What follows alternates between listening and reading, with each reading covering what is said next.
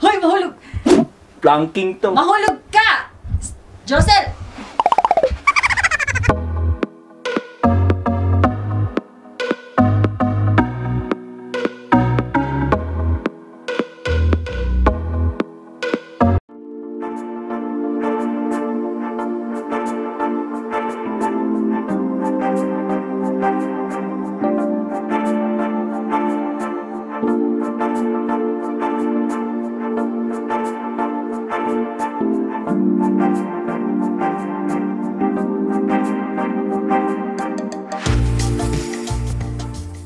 Подождать надо, пока откроют.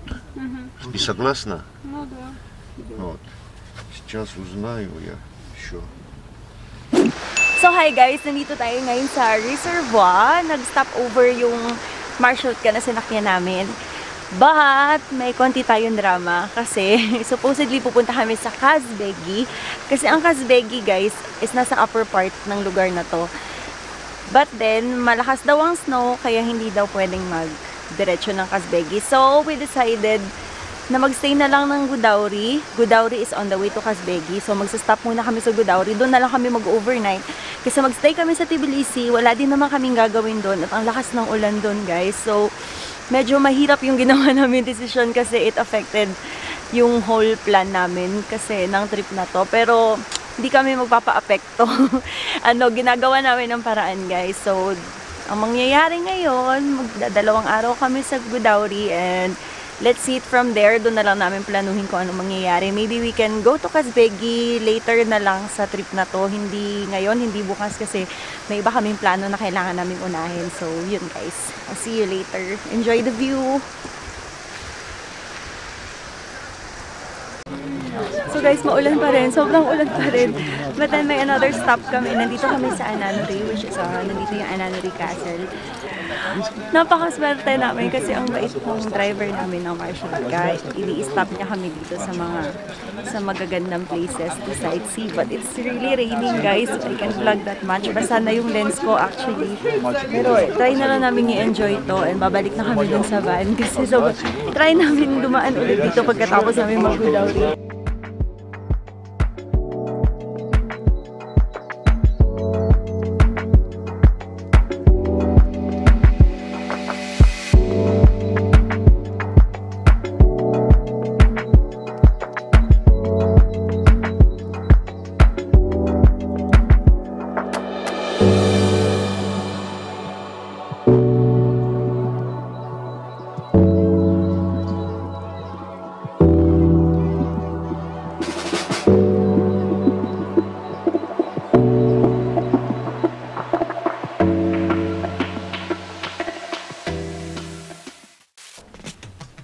ayun nga guys, nandito na kami sa hotel. Kinansel namin yung hotel namin sa Kazbegi kasi hindi naman kami pwedeng dumiretso doon kasi close na yung mga roads. Ayaw na ni MJ bumalik ng Tbilisi kasi sobrang lakas ng ulan doon at wala naman daw kaming gagawin doon.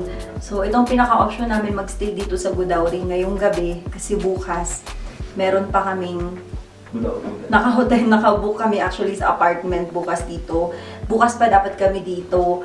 Kaso wala na kaming choice. Kailangan namin magstay dito kasi bumalik kami ng Tbilisi. So, ayun guys, quick room tour tayo. Actually, yung hotel na to, ngayon lang na, kani-kanina lang namin binook nung, nung nalaman namin na ano, na hindi kami pwedeng tumuloy sa Kazbegi. So, kinancel namin. Buti naman mabait yung hotel doon sa Kazbegi. Hindi kami chinarge kahit hindi na pwedeng mag-cancel. So, ayan. Ito yung door. Ayan yung main door. Tapos, from here, meron kang, ayan, rack. May magandang cabinet. Toilet. Itong toilet. Okay naman siya. Plastic. Maganda siya. Ayan. Mirror. Tapos may ayan. Thank you very much. Thank you. Ba? And then, syempre, dahil bigla ang booking to guys at mumurahin lang kasi itong hotel, tig-isa na naman kami ng kama. so, mali, dapat ako yung nandun. Dito ka. Ay. Ayan. Ayan, okay naman siya guys. Gusto namin siya actually. Ayan. May may water, may baso, may candy, may charger. Ayan yung display. Ang ganda siya guys. Gusto ko siya. Industrial siya. Tapos may terrace kami pwedeng i-open. And ayan. May snow. Ayan po, nasa mountain resort kasi tayo.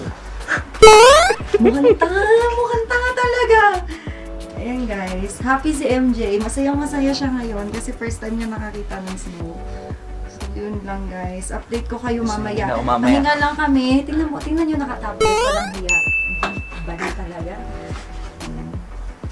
Okay na guys. So, mamaya-maya, kakain, lalabas kami.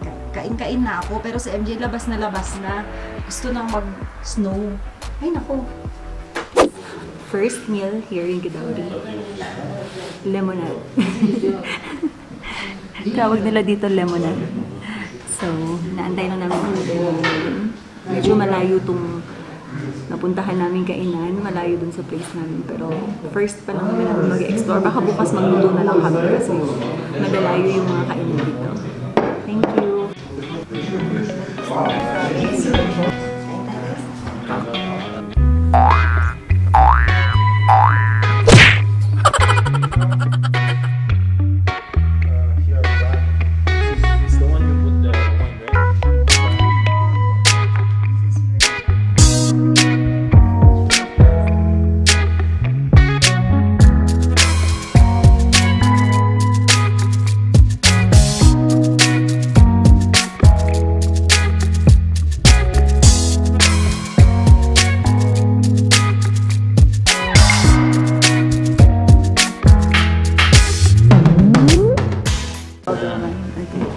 Okay. Anyways, thank you. Thank you very much.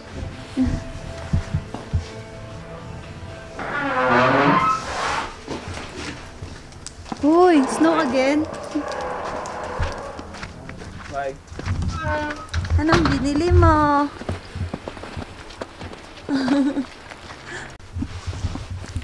Hi guys, Ah, naglalakad kami ni Ann. Nag-iisip kami kung anong gagawin. Kasi walang TV yun. Kasi walang TV yung hotel. Then, naghanap lang kami ng supermarket. Kasi parang 1 kilometer away yung supermarket dito. eh. Layo-layo kasi. Malayo kasi sa... Hmm, lala. Galing lang tayo man siya. Eh. Isipin ko muna. Kasi kasi. Kasi. Ano yung utang mo na? Walang bukas si Ana. Walang bukas. Sabi niya. Eh, eh. Sino parang kita? Tama na yun. Anyway. Anyway.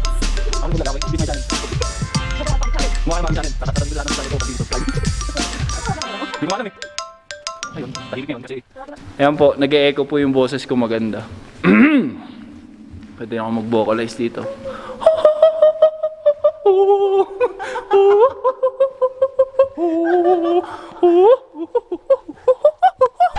ano wala?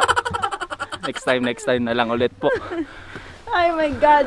Dami kong Sa, su sa susunod na vlog, ako na po ang singer. Uwi na po. Nanalo na po si Ana. Nanalo na. Wala kami nakita. Busted. Kakalungkot isipin mga kaibigan. Good night! Ah, hindi pa pala. See you later again. Bye-bye! Hello guys, good morning and welcome to our second apartment here in Godauri, Georgia. Ngayon, kasi ito talaga yung original namin nung nakabooking na apartment. Yung kahapon, bigla ang booking lang yon kasi nga, di ba, ang drama is sarado ang road to Kazbegi. Nag-check out kaming early sa hotel na yon and nag-check-in kami dito ng super aga kasi sobrang bait ng host namin. Nag-message siya sa akin kung anong oras ko daw gustong mag-check-in dito. Eh, mas gusto namin dito kasi this is ano, parang condo, ano siya, parang studio condo siya style. Pwede kaming magluto dito. So, nagsasawa na kasi kami na MJ sa mga food sa labas. Madali kami magsawa kaya Tatry namin magluto mamaya. So, ayun lang. Good morning, guys. Thank you for watching my vlog nga pala. Yung mga previous vlog ko. Salamat sa mga nanonood.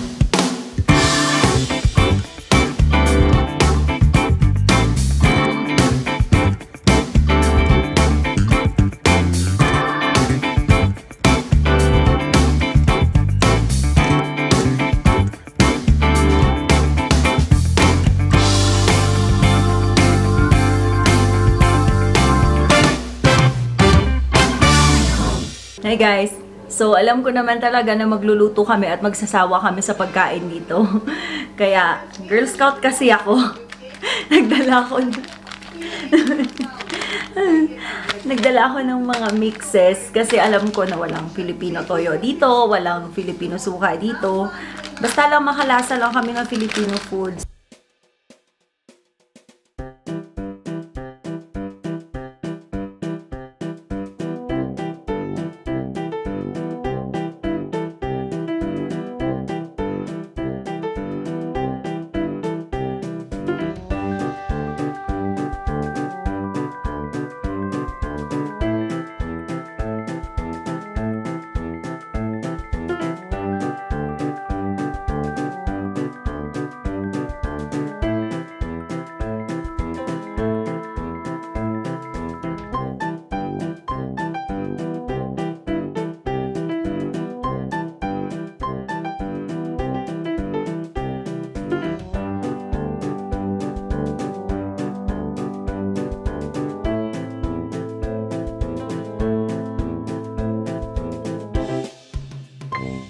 Guys, look at this.